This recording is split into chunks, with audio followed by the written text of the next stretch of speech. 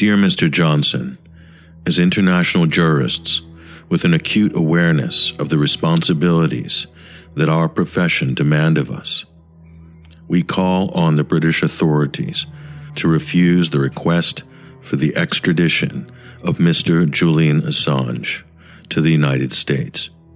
We also call for his immediate release. The treatment of Mr. Assange, the circumstances surrounding his continued detention in Belmarsh Maximum Security Prison, and the circumstances surrounding British attempts to comply with the U.S. request for his extradition highlight Number one, the involvement of the United Kingdom in long term severe psychological ill treatment of Mr. Assange. Number two, the disregard shown by the British authorities towards their duties and responsibilities under international law. Number three, the disregard by British authorities of British law, including Mr. Assange's right to a fair trial for the protection of his private life and his right to freedom of speech. Number four, the sweeping, extraordinary, extraterritorial claims now being made by the United States, who are seeking to prosecute in the U.S.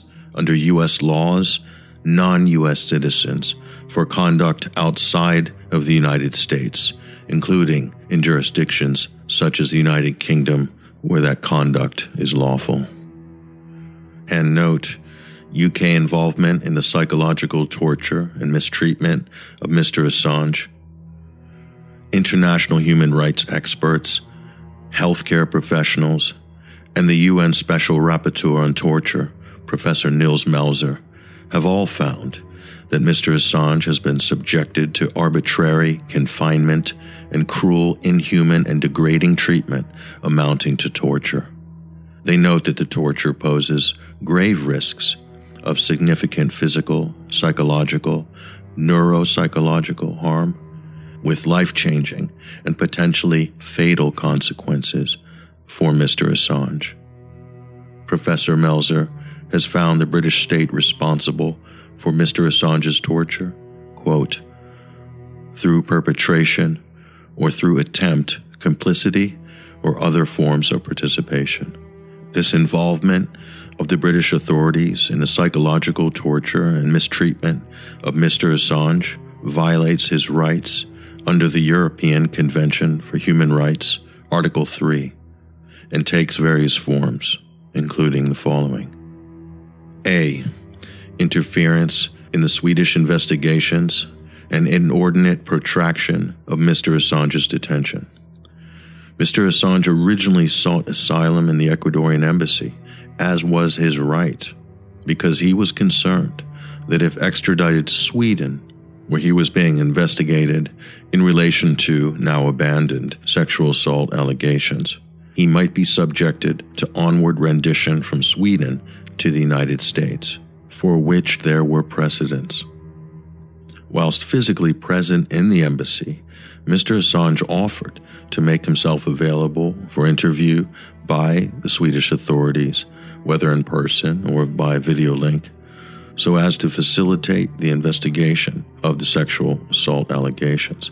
Mr. Assange also offered to go to Sweden, subject to an assurance from Swedish authorities that he would not be rendered to the United States information obtained under the Freedom of Information Act reveals that the Swedish authorities may have been minded to accept Mr. Assange's offers of interviews in the embassy or by video link. However, they were dissuaded from doing so by British authorities. The Crown Prosecution Services repeatedly urged Swedish authorities not to interview Mr. Assange in the United Kingdom and suggested that they insist instead on his extradition to Sweden. This compelled Mr. Assange to remain in the embassy for many years, despite the injury this was known to be causing to his health.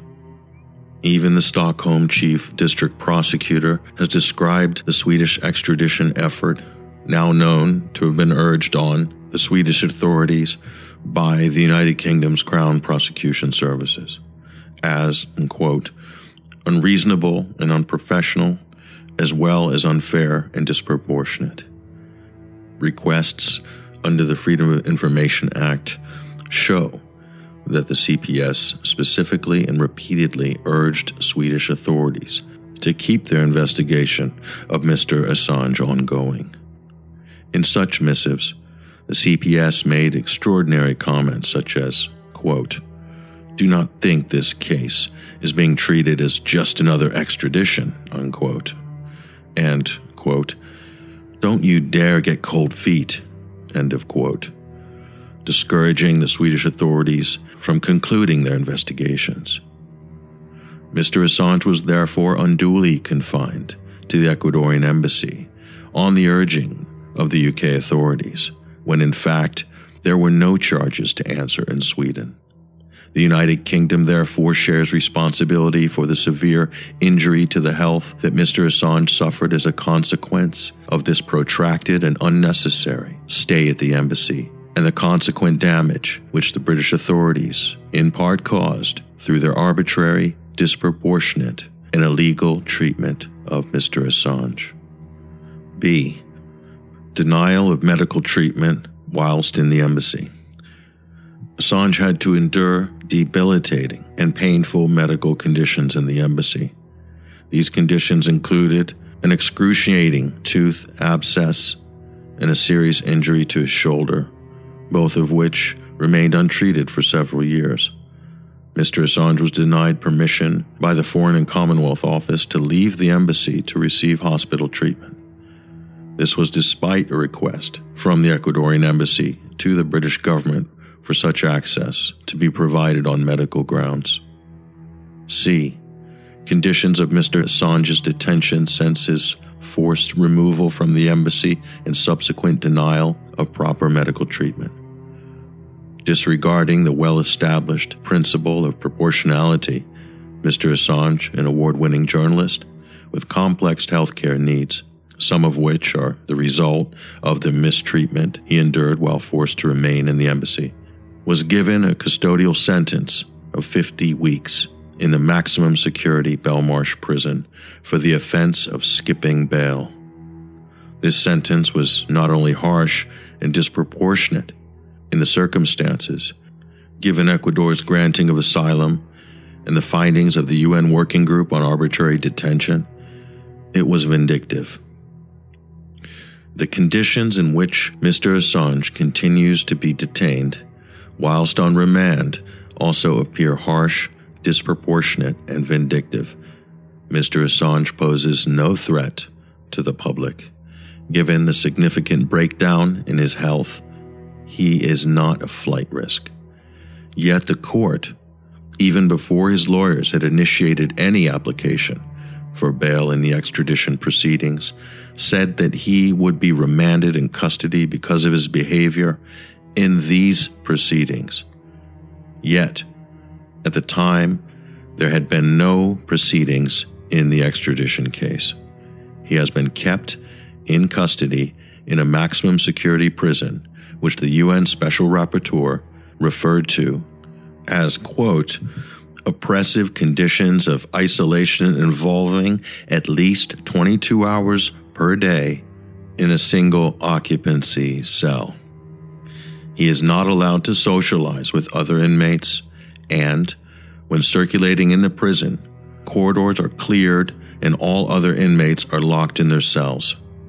Contrary to assurances by the prison administration and contrary to the general population of the prison, Mr. Assange reportedly still is not allowed to work or go to the gym where he could socialize with other inmates. End of quote.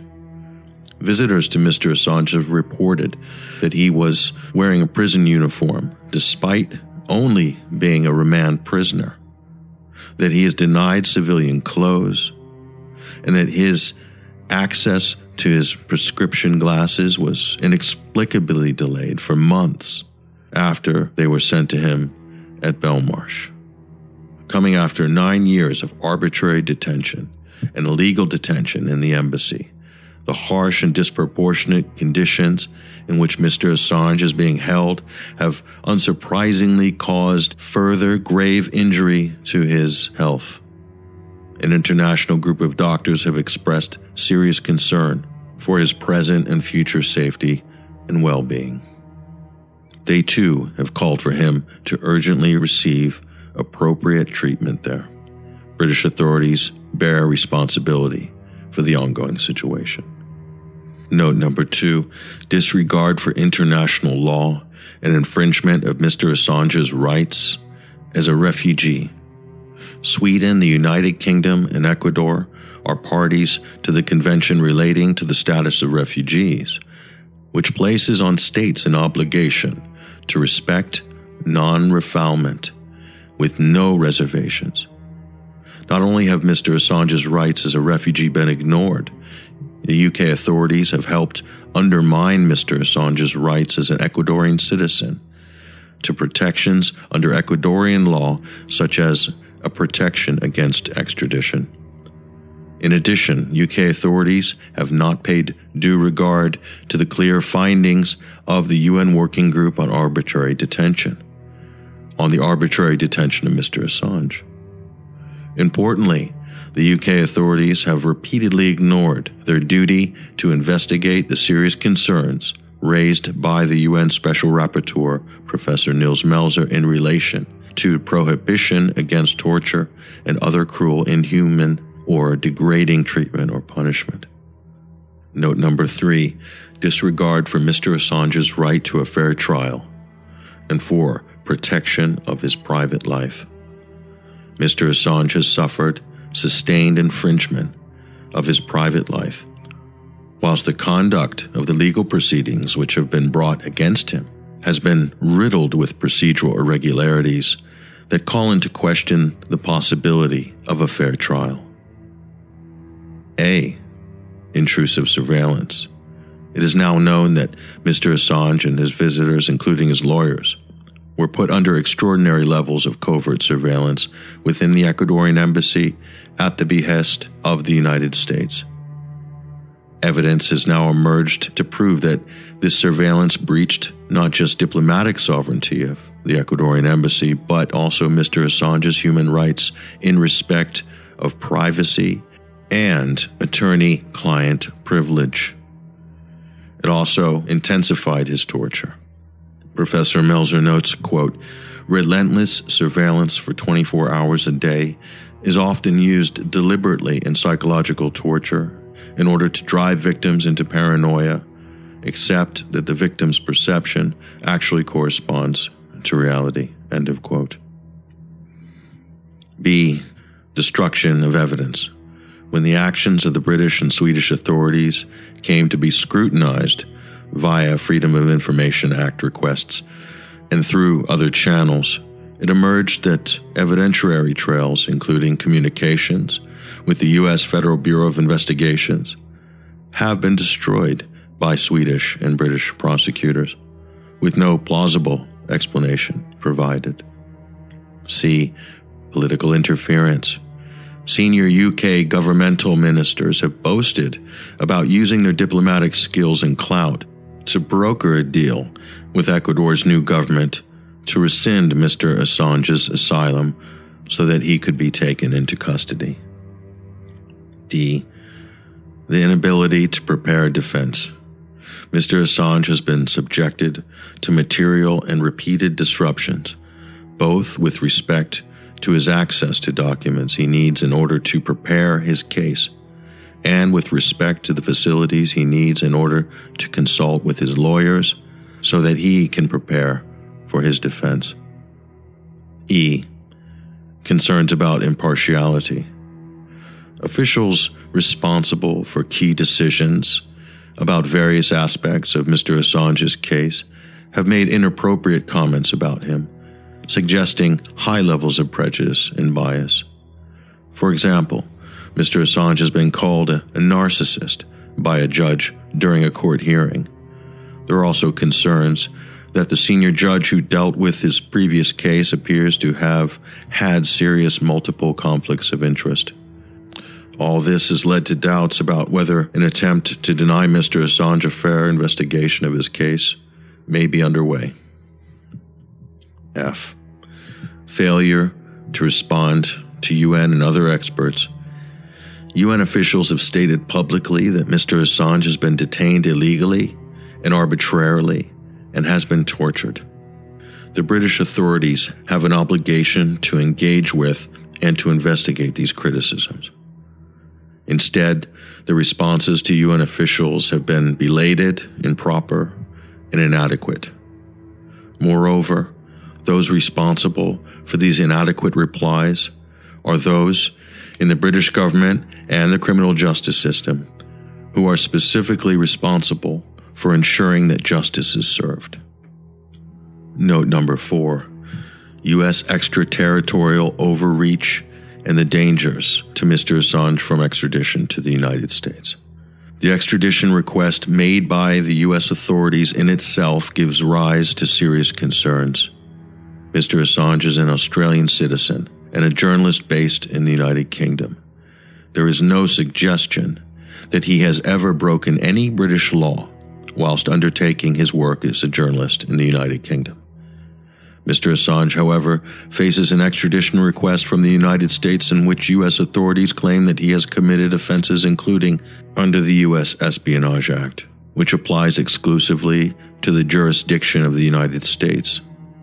The charges that U.S. authorities are seeking to bring against Mr. Assange are seen by many journalists around the world as an open assault against investigative journalism as it is practiced.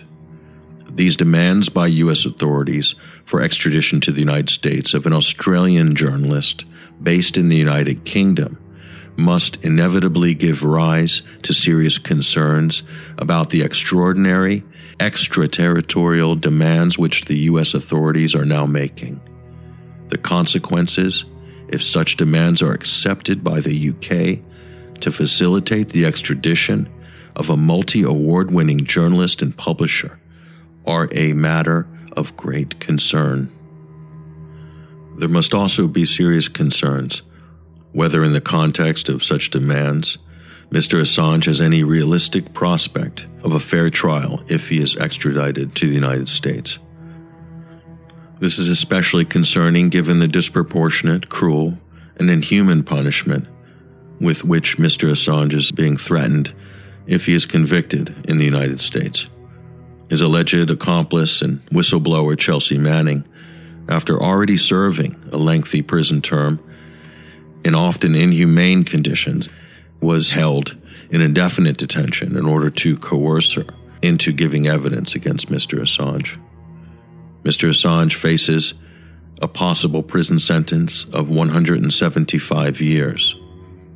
Extraditing Mr. Assange to the United States would, in such circumstances, not only be inhumane and wrong, it would set a dangerous precedent, legitimizing the U.S. authorities' practice of extraterritorial overreach, whilst infringing Mr. Assange's human rights in the most fundamental way, putting his very life at risk. It would also set the scene for a trial whose eventual outcome might set extraordinary, dangerous precedents, which could endanger the entire practice of journalism. In conclusion, under the rule of law, a state is required to afford all defendants the human rights and to honor international law, whether deriving from treaty or from international custom and practice.